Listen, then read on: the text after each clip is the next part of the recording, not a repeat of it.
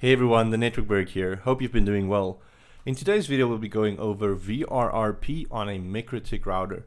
I've had a few people comment to me and message me directly about it. I know there's already a video on the channel how to do this on Cisco and the concept is still basically the same, but I wanted to give people that type of feel or that type of thing that they want. So we're going to do this on MikroTik as well. Um, and again, guys, if you want to see something specifically, please feel free to comment about it. Um, I'm more than happy to see if we can integrate the video somehow. I might not just look at one single concept, but if it's something that I think is beneficial to people, I will definitely make a video about it. Um, again, also, I just want to remind people to subscribe to the channel, like and share the video. It helps grow this channel.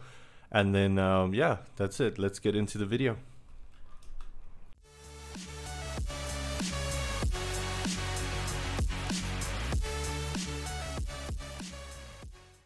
Alright, so we've got two MikroTik routers in this topology with a switch and a computer. Then we're going to get internet access as well from our Eve server. Now I've already configured the internet access and everything. Um, if I log into these routers, I've already got internet. So what I don't have yet is I don't have LAN connectivity. I have set up a IP address on this computer. It's just a Docker with 10.0.0.50 being the IP and we're going to make 10.0.0.1 the default gateway. Now if we make one IP address the default gateway but there's two routers how's this going to work? Because will the IP address exist on both routers at the same time? No, it, it won't. That is what VRRP is for. It's the virtual router redundancy protocol. So essentially what it does is you'll you'll hear people talk about a floating IP. So this floating IP is basically live on one router at any given time. How is this determined?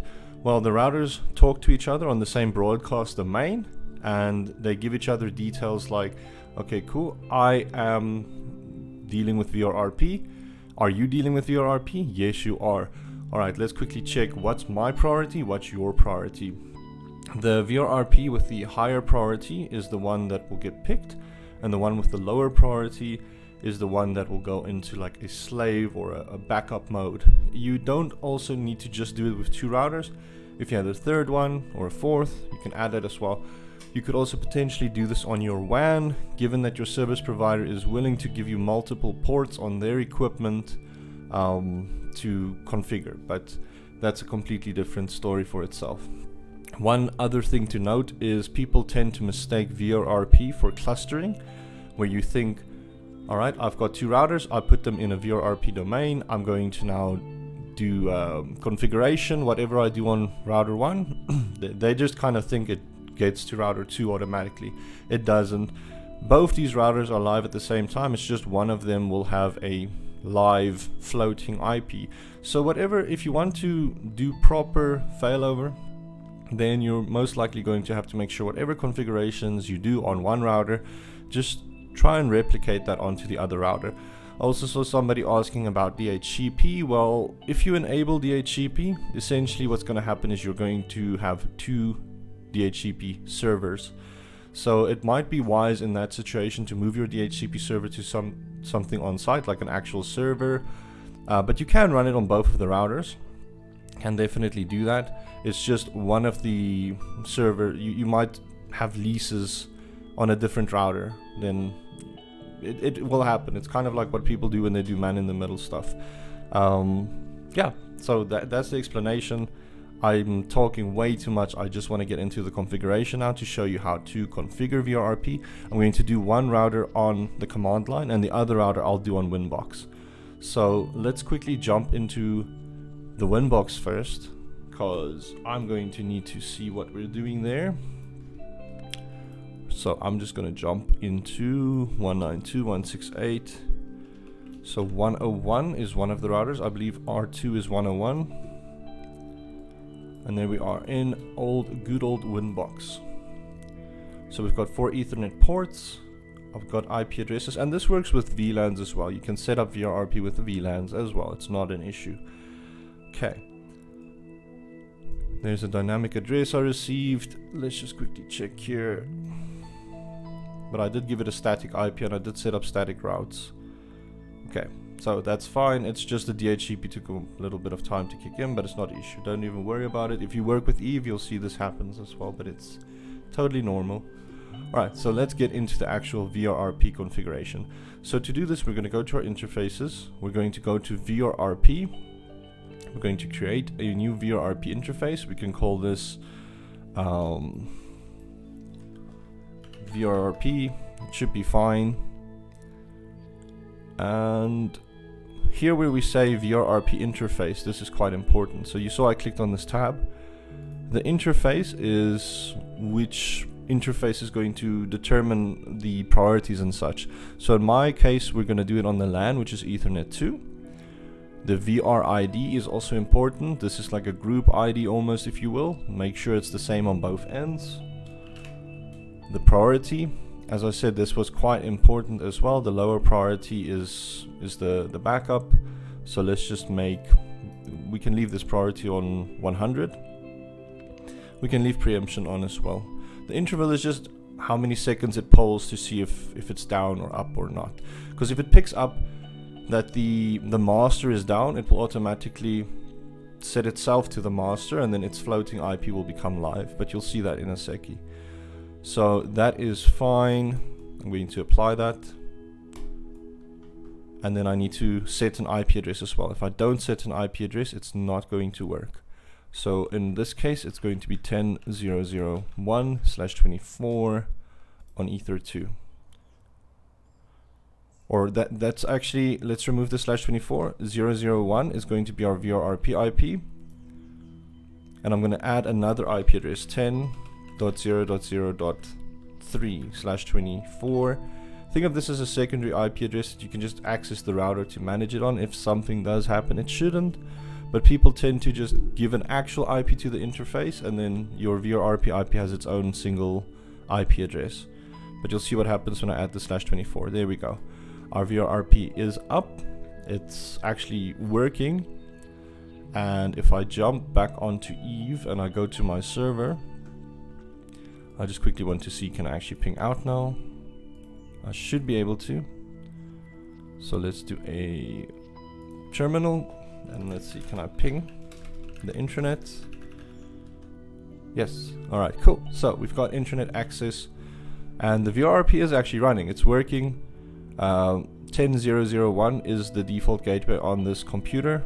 So I'll just quickly show you as well. ifconfig. So there's my ETH 0, 100050. And if I look at my routes, my default gateway is 10001. Alright, so let me quickly set up the VRRP on command line. Is this the right router? Yes, this is router 1. So we're going to go interface, VRRP, add our interface will be ether2 again. Our VRID was 50 and our priority. These are the very important bits. Really, if you think about it, you just need a ID and a priority and which interface. That's it.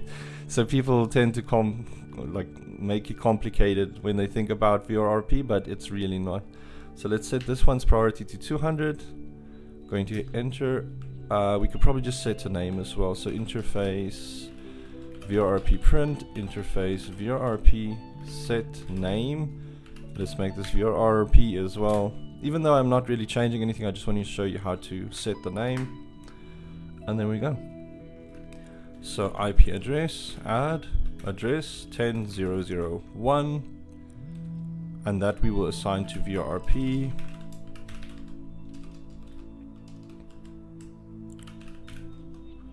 and then IP address add address 10002 slash 24 and that we will assign to our ether2 cool if I look now and I do a print, it should be up. Ping 10001.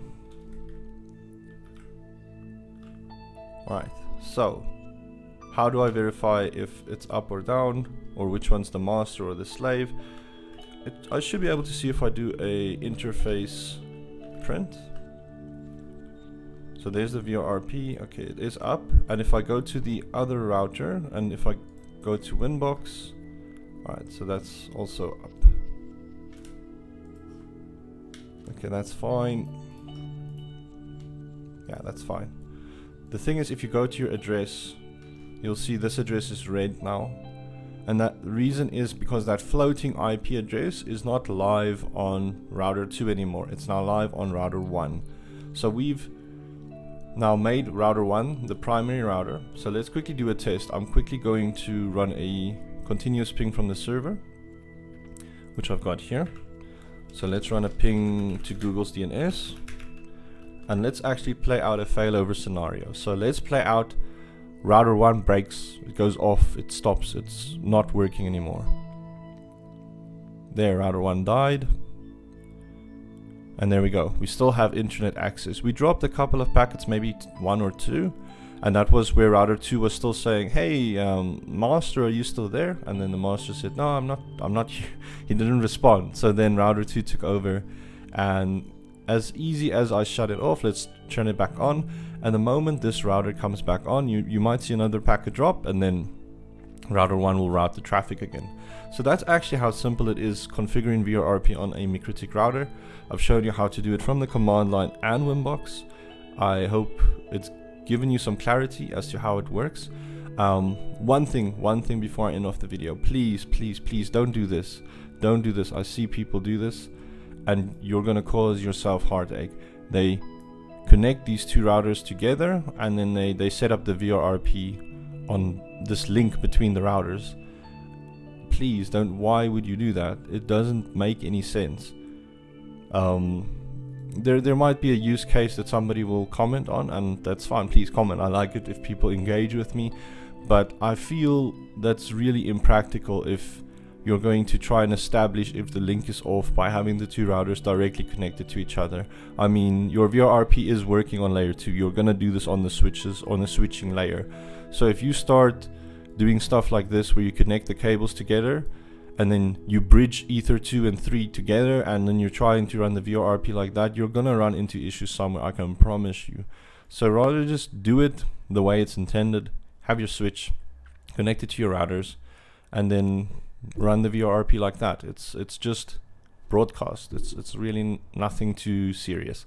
All right, so that is it. I'm going to end off the video. Thanks for watching. Catch you in the next one.